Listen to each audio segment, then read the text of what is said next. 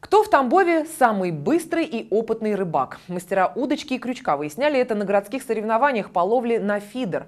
Олег Рожков узнал, как клюет на Тамбовском море. Для тех, кто далек от рыбалки, стоит пояснить, что фидер – это такая разновидность удочек. Отличается она от остальных тем, что на ее конце находится кивок. Это такая своего рода разновидность плавка. Под кивком находится кормушка с прикормкой, а уже от кормушки идет поводок с крючком. Рыбалка – это состояние души. Спорт, отличающийся от остальных. На соревнованиях нет кричащих фанатов, взволнованных тренеров. Здесь тишина и единение с природой. Идут ловить на фидер по разным философским убеждениям, а не только за победой. Отдыхай душой и телом. Рыба клюет. Погода радует. Что еще? Я хочу ловить рыбу, чтобы быть опытнее.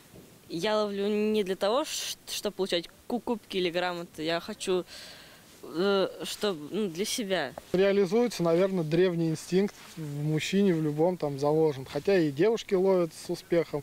Но в основном здесь мужчины принимают участие. Древний инстинкт, наверное, реализуется, поймать. Ну, азарт в первую очередь, конечно.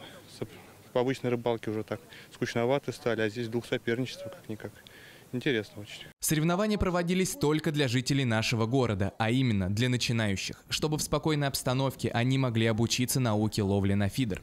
Участникам давалось два тура по три часа. После каждого тура взвешивание. По его итогам и определяется победитель. Отличившимся присвоят спортивный разряд. Улов рыбаки с собой не забирают, а сразу после взвешивания отпускают. Олег Рожков, Александр Поздняков, Александр Кобзарев. Область новостей.